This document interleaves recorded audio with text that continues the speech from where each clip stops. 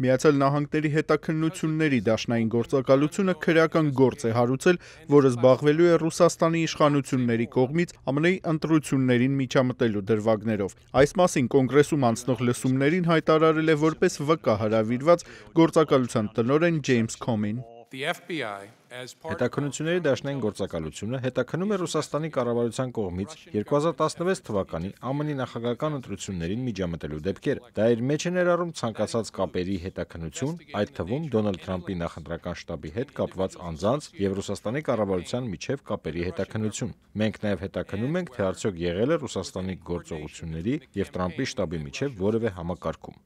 Ավելի քան 5 ժամ տևած լսումների ընթացքում Կոնգրեսի Ստորին պալատի հետախուզության հարցերով հանձնաժողովի ղեկավար, Կոնգրեսի հայ-ամերիկյան բարեկամության խմբի անդամ Դևին Նունեսն ընդգծեց, որ Մոսկվայից Միացյալ Նահանգների նկատմամբ իրական տեղեկատվական եւ էլեկտրոնային վտանգ է սպառնում։ Կրեմլը վարում է միջազգային ապատեղեկատվական արշավ, Ռուսաստանն այսօր քարոզչական ցանցի միջոցով տարածելով հակաամերիկյան դավադրական տեսանյութեր։ Կարծես վերադարձել է խորհրդային շրջանը։ Ռուսաստանն ունի նաև երկար տարիների պատմություն այլ երկրների ընտրական համակարգերին միջամտելու եւ կիբերհարձակումներ կազմակերպելու փորձ։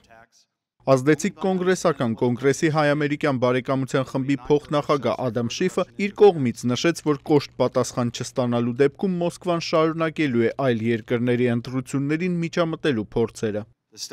Նժարի վրա է դրված մեր ժողովրդավարությունը եւ ընդհանրապես ազատ աշխարհի ժողովրդավարությունն ընդհանուր առմամբ, քանի որ մենք գաղափարների նոր պատերազմի մեջ ենք ներգրաված։ Դա ոչ թե կոմունիզմի եւ կապիտալիզմի պայքար է, դա բռնապետական համակարգը պայքարում է ազատ համակարգի դեմ։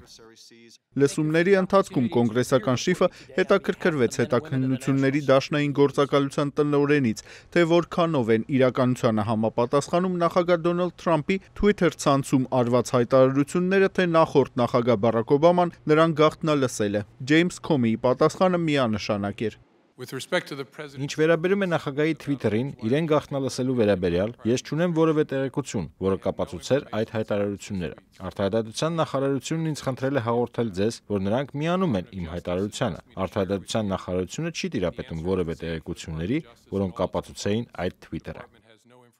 Ադամ Շիֆը փորձեց նաև ողջել, թե արդյոք ի պաշտոն է նախագահ Բարակ Օբաման կարող էր Դոնալդ Թրամփին գաղտնալսելու հրաման տալ։ Միացյալ Նահանգներում ոչ մի անձնավորություն չի կարող հրահանգել գաղտնալսել որևէ մեկին։ Նման դիմումը պետք է երկար ճանապարհ անցնի, հասնի դատավորին, դատավորն էլ այնուհետև որոշում է կայացնում։ Այնպես որ նախագահ Օբաման միազնյա չէր կարող հրահանգել գաղտնալսել որևէ մեկին։ Ոչ մի նախագահ չէր կարող դա անել։ Արման Թարջիմանյան, Ամերիկայի ձայն, Վաշինգտոն։